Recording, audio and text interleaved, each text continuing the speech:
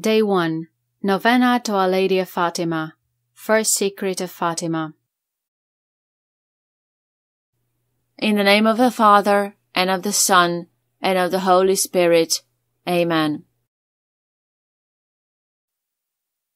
O most holy Virgin Mary, you came to Fatima to reveal the graces that come from praying the Holy Rosary to three little shepherd children. Inspire us with a sincere love of this devotion, so that, like the shepherd children, it is not a burdensome task, but a life-giving prayer. May our prayers and meditations on the mysteries of our redemption bring us closer to your Son, our Lord Jesus Christ.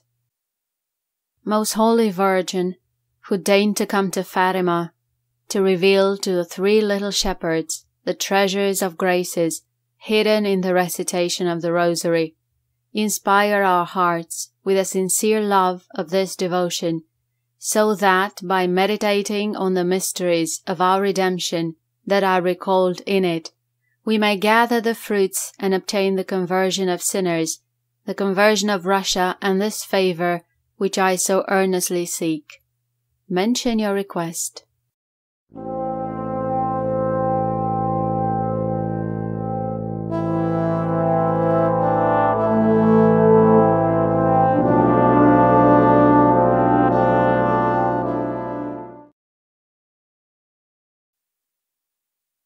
Which I ask of thee in this novena, for the greater glory of God, for thine own honour, and for the good of all people.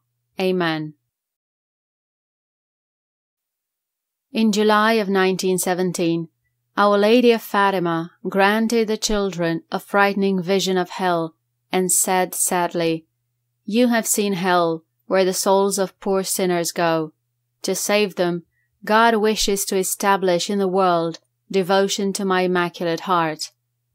As horrible as are the physical chastisements associated with man's disobedient rebellion before God, infinitely more horrible are the spiritual chastisements, for they have to do with the fruit of grievous sin, eternal death.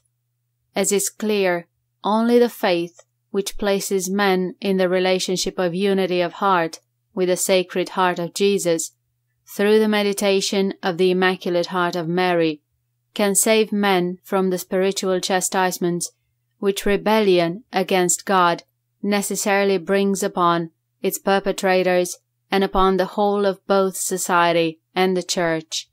Cardinal Raymond Burke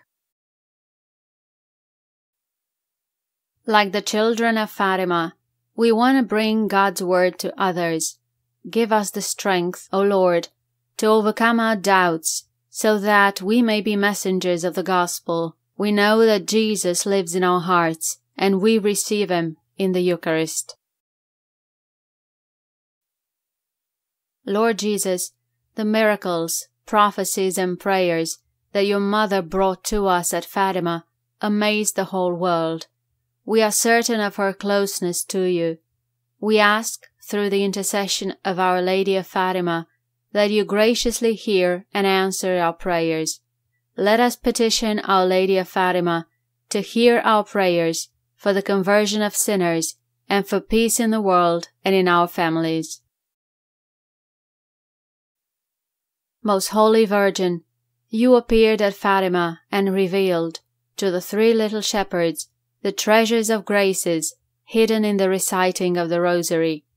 Inspire our hearts with a sincere love of this devotion, so that, by meditating on the mysteries of our redemption, we may gather its fruits and obtain the conversion of sinners and the conversion of non-believers throughout the world.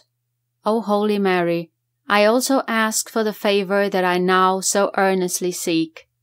Mention your request.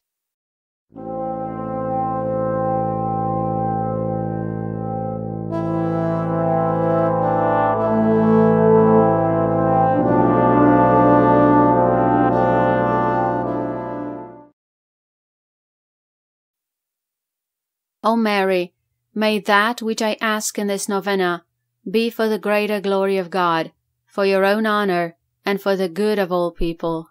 Amen. Our Father, who art in heaven, hallowed be thy name, thy kingdom come, thy will be done on earth as it is in heaven. Give us this day our daily bread, and forgive us our trespasses as we forgive those who trespass against us. And lead us not into temptation, but deliver us from evil. Amen. Our Father, who art in heaven, hallowed be thy name, thy kingdom come, thy will be done on earth as it is in heaven. Give us this day our daily bread, and forgive us our trespasses as we forgive those who trespass against us. And lead us not into temptation, but deliver us from evil. Amen. Our Father, who art in heaven, hallowed be thy name, thy kingdom come, thy will be done on earth as it is in heaven.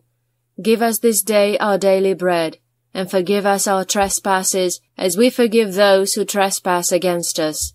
And lead us not into temptation, but deliver us from evil. Amen. Hail Mary, full of grace, the Lord is with thee. Blessed art thou amongst women, and blessed is the fruit of thy womb, Jesus. Holy Mary, Mother of God, pray for us sinners, now and at the hour of our death. Amen. Hail Mary, full of grace, the Lord is with thee.